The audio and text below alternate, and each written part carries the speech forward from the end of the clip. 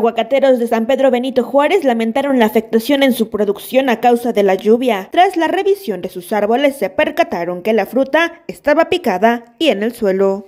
Pues, muy mal. Tremenda la granizada. Sí, estoy trabajando. Y sí dañó casi, aparte de que tiró mucha fruta, la como que la pica. Ya no queda limpia la fruta y ya es pérdida. Casi pérdida total. Pues ya nada. que se puede hacer nada ahorita. Pues muy mal, este, anoche fuerte granizada con vientos y nos dañó toda la fruta de la producción del aguacate. Ahorita pues como puede contactar por ahí hay este, aguacate tirado, que es la fruta que estaba programada para salir para septiembre, octubre. Y prácticamente ahorita pues nos dañó toda la producción.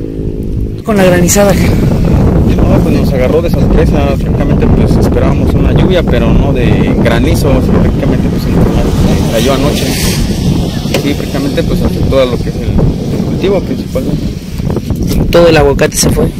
Eh, sí, digamos que en un, prácticamente es pérdida total porque había fruto que estaba en plena maduración y, y, pues es lo que ahorita está en el suelo. Y si no está en el suelo, pero está maltratado.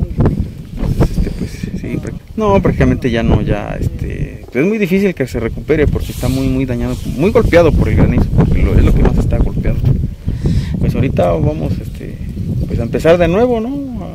A, regar, a escardar, a, fumigar y todo eso, porque pues no nos podemos quedar con los brazos cruzados, ¿no? Entonces, este, y pues nos dedicamos al, cultivo, pues qué más vamos a hacer, ¿no? Otro pues es emigrar, pero pues eso es como rendirse, ¿no? Pues yo creo que vienen tiempos buenos y tiempos malos y pues ahorita nos tocó y pues no queda otra más que levantarse, ¿no? Fueron alrededor de 30 hectáreas de aguacate las que se vieron afectadas por la lluvia intensa. Cabe mencionar que la producción estaba programada para el mes de septiembre.